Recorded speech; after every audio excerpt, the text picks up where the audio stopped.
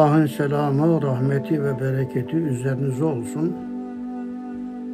Değerli kardeşlerim, Ramazan ve oruç başlığında bir hadis, bir yorumla huzurlarınızdayım. Bugünkü nakledeceğim hadis-i şerif Buhari'nin Savm kitabında Bedaül Halk'ta iki yerde geçmiş Buhari'de Müslim'in Siyam kitabında, Nesai'nin Siyam kitabında, Tirmizi'nin Savun kitabında oldukça güçlü bir hadisi şerif olarak nakledilmiş. Sahabe-i kiramın şanlı ve şerefli olanlarından Sehl İbni Sa'dil Saidi tarafından naklediliyor. Efendimiz Aleyhisselatü Vesselam'ın şöyle buyurduğunu nakletmiş. Kale Resulullah sallallahu aleyhi ve sellem inne fil cenneti baben yukalu lehu reyyanu la yedhuluhu illa saimun ve izâ dehalu ulika fela yedhulu minhu ehadun. Fe sadaka Resulullah sallallahu aleyhi ve sellem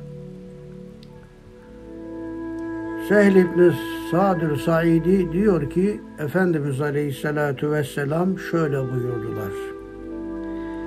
Cennette Reyyan denilen bir kapı vardır. Oradan sadece oruçlular girer. Oruçlular girdi mi artık o kapı kapanır, kimse oradan giremez. Bir başka rivayette Efendimiz Aleyhisselam cennetin sekiz kapısı olduğundan bahseder. Bu sekiz kapıdan bir tanesinin de Reyyan kapısı olduğunu ifade eder. Reyyan mübalağalı bir kelime. Rey kökünden türetilmiş. Rey kana kana içmek, suya doymak manalarında. Reyyan kapısından cennete girenler de artık orada kana kana içecekler cennet ırmaklarından iliklerine kadar doyacaklar manalarına geliyor. Bu da bizlerde şu ayeti hatırlatıyor. Külü veşrabu bima esleftum fil eyyamil haliye. Yani Cenab-ı Hak öbür alemde herhalde oruç tutmuş. Oruç tutarak susuz kalmış, özellikle aç kalmış. İnsan açlığa bir gün dayanabilir de fakat belli şartlarda susuzluğa dayanabilmesi çok zor. Özellikle uzun günlerde sıcak mekanlarda hele bir de bedenen de çalışıyorsa öyle susar ki dayanması çok zor. Belli dönemlerde fakir de bunu yaşamıştım. Dudaklarımı bile susuzluktan kıpırdatamayacak hale gelmiştim.'' İşte dünyada oruç ibadetiyle susuz kalmasına mukabil Cenab-ı Hak öbür alemde diyecek ki yiyin için bugün külü veşrabu bima esleftün fil eyyamil haliye dünyada yiyip içmediğiniz, özellikle içmediğiniz oruçtan dolayı içmediğiniz günlere bedel bugün buyurun burada yiyip için denecek onlara diyor. Reyyan da kana kana su içme manasında olduğuna göre cennet ırmaklarından öyle içecek öyle içecek ki iliklerine kadar doyacak. İşte bu Reyyan kapısı oruçluların, oruç tutanların gireceği kapı olarak ifade edilmiştir. Ve Efendimiz Aleyhisselatü Vesselam ayetteki o denge içinde bu müthiş bir müjdeyi bize vermiştir.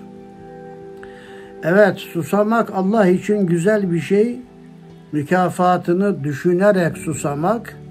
İçmiyorum ben su burada çünkü öbür alemde Reyyan kapısından o cennete gidecek orada kana kana içeceğim diye düşüneceğiz.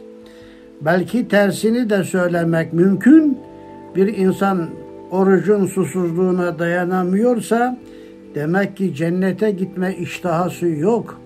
Demek ki cennetin o kapısından o cennet mertebesine girmeye niyeti yok. Cennet ırmaklarından da içmeye arzusu yok manasına da gelir. Hem dünyada istediğin kadar su iç, oruç tutma, oruç tutma, su iç. Hem de öbür alemde cennete git, cennet nimetlerinden faydalan, su iç. La ecma'u beyne emneyn ve la ecma'u beyne havfeyn kutsi hadisiyle ben iki emniyeti bir arada vermem, iki korkuyu da bir arada vermem. Dünyada korkarak Allah'a karşı kulluk yapanlar, Allah'ın rahmetinden ümit ederek böyle kulluk yapan, oruç tutanlar öbür alemde inşallah o nimetlere mazhar olacaklardır.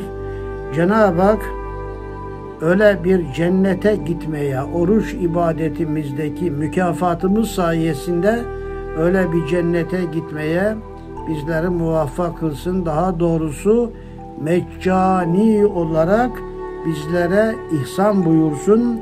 Oraya kim girerse ebediyen susamaz ifadesi de var. Bir başka rivayette Cenab-ı Hak ebedi o cennet nimetlerinden, sularından, şarabından içerek sermest olarak, mest olarak ebedi saadet içinde yaşamaya bizleri muvaffak kılsın teşekkürlerimi sunuyor ve Allah'a emanet ediyorum.